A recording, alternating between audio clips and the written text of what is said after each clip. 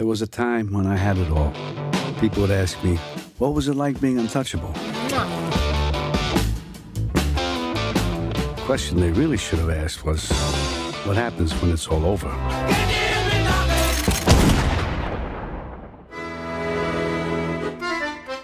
You set a good example by snitching on your friends in the mob. We're not in Brooklyn anymore. I don't think there's anywhere further from Brooklyn than this rat hole. I'm sick of being in witness protection. Welcome to France. Try to fit in. I'm getting tired of finding you a new place to live every 90 days. So, do we still have the same names? No, we are the Blake family. Anything to report? Kids, school? Oops. They, you know, they always adjust better than we do. You're a maniac. Thank you.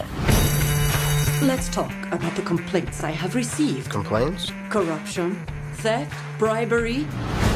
I want to see my lawyer. Du beurre du cacahuète. Peanut butter. On the right, after the dog food. Merci. Stupid American. How's your day? Fine. You know what's going to happen to you and your family when they find you. You're here to make sure that don't happen, right? Try not to make my job impossible. There's somewhere find them.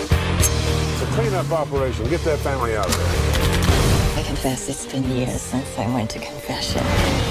Your family's the incarnation of evil. What is all this grief about? Can I use your phone? You don't lend your phone. I gotta find my kids. You're insane. I know.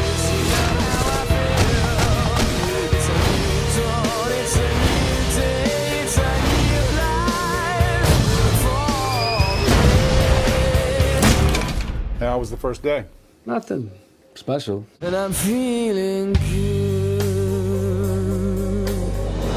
Why'd you kill the plumber? I didn't kill him. I took him to the hospital. Who's gonna fix the pipes now? Well, who's gonna rebuild the supermarket that burned down the day we got here?